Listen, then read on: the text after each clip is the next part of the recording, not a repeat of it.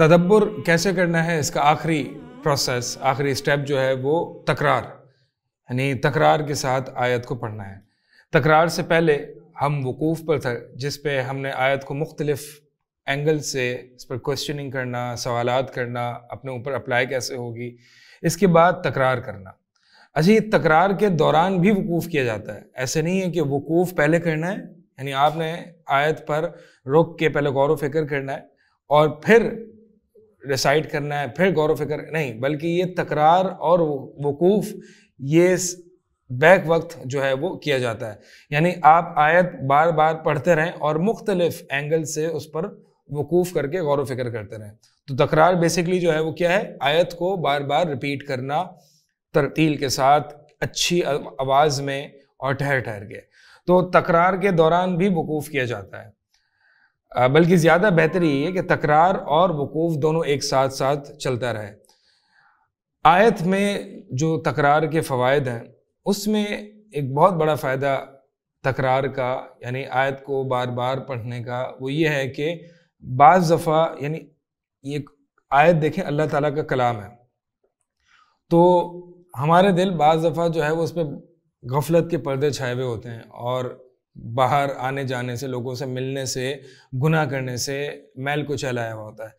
तो एक दफ़ा कभी कभार आयत दिल पर हिट नहीं लगाती, यानी दिल को असर नहीं करती। तो बार बार जो है वो इंसान तकरार के साथ जब पढ़ता है तो ये आयत दिल में एब्जॉर्ब होना शुरू होती है और दिल को हिलाने लगती है। तो लिहाजा तकरार में ये फ़वाद मौजूद हैं कि बज़ात ऐसा होता है कि पहली दफ़ा जब इंसान तरतील के साथ अगरचे पढ़ रहा है आयत को, लेकिन उसका दिल जो है वो हिल नहीं रहा, दिल मुतासर नहीं हो रहा तो दस दफ़ा पढ़ने के बाद, बारहवीं दफ़ा भी हो सकता है कि उसका दिल पर असर आए।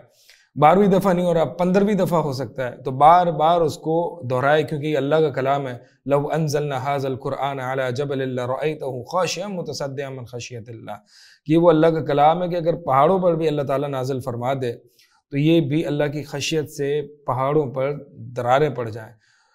तो ये अल्लाह ताला की खशियत से जो है इन जमादात का ये हाल होता है कि अल्लाह का जो कलाम है, उसमें ये तासीर और ये पावर है।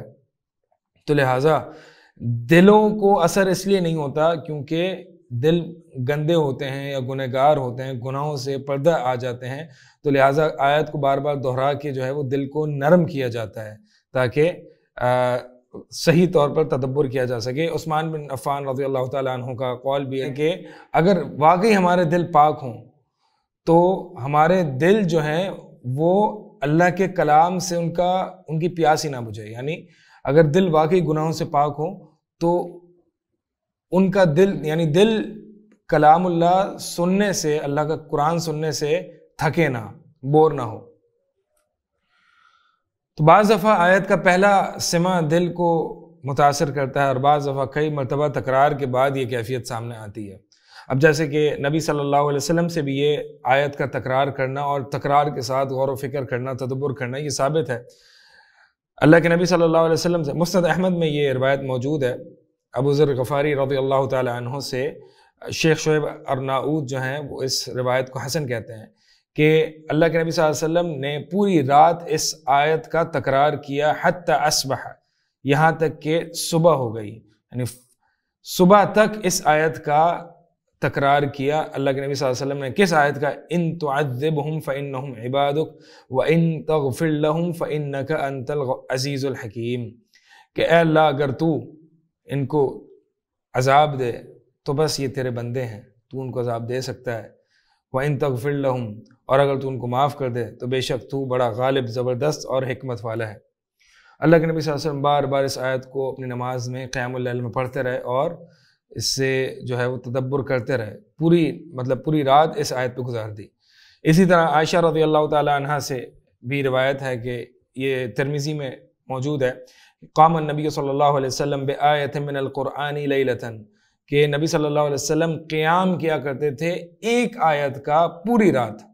कुरान की एक आयत से का क़्याम नबी वसल्लम पूरी रात करते थे। यानी एक ही आयत जो है वो नबी वसल्लम पूरी क़यामुल उसको दोहराते, तकरार करते। तो ये नबी सल्लल्लाहु अलैहि वसल्लम की सुन्नत भी है, सहाबा की भी, सहाबा से भी हमें ये मिलता है। जैसे कि हमने असमा रदी अल्लाह तहा की रिवायत पहले सेशंस में भी हमने वो ज़िक्र की थी।